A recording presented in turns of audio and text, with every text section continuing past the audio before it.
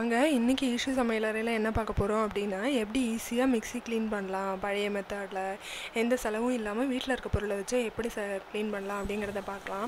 So நம்ம use பண்ண போகிறது என்னென்னா கல் உப்பு அப்புறம் எலுமிச்சம்பழம் பட்ஸ் இருக்கும் இல்லையா? அதில் ஒரு நாலஞ்சு பட்ஸ் வச்சுக்கோங்க.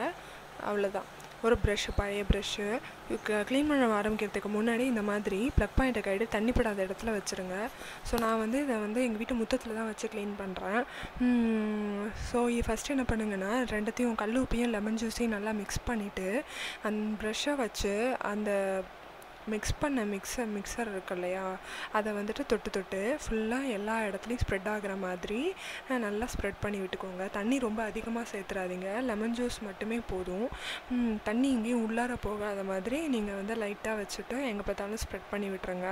ஸ்ப்ரெட் பண்ணி முடித்ததுக்கு அப்புறமா நீங்கள் வந்து திருப்பி நல்லா ப்ரெஷ்ஷை வச்சு அழுத்தி துடைக்க ஆரம்பிக்கலாம். துடைச்சி அந்த இண்டு இடுக்கெல்லாம் இருக்கு இல்லையா அங்கெல்லாம் வந்துட்டு ப்ரஷ்ஷு உள்ளார போகாது. ஸோ அப்போ நீங்கள் என்ன பண்ணலான்னா அந்த பட்ஸை வச்சு தொடச்சிங்கன்னா நல்லா ஈஸியாக போயிடும். எல்லா இடத்துலையுமே பட்ஸ் போகும். ஸோ நீங்கள் வந்து ஒரு நாலஞ்சு பட்ஸ் வச்சுட்டு அதை யூஸ் பண்ணி நல்லா க்ளீன் பண்ணிக்கலாம். எல்லாமே க்ளீன் பண்ணி முடிச்சதுக்கப்புறமா இந்த மாதிரி ஒரு ஒயிட் கிளாத் ரெண்டு கிளாத் வச்சுக்கோங்க.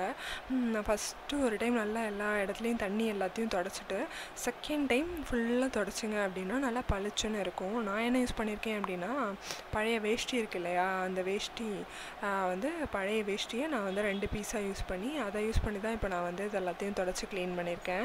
பாருங்கள் மிக்ஸி முன்னாடி இருந்ததும் இப்போ இப்படி இருக்கிறதும் எப்படி இருக்குன்னு நல்லா பளிச்சுன்னு ஆகிட்டு ஸோ இதுக்கு வந்து நீங்கள் எதுவுமே செலவு பண்ணவே தேவையில்லை. வீட்டில் இருக்க பொருளை வச்சு ஈஸியாக க்ளீன் பண்ணிடலாம்.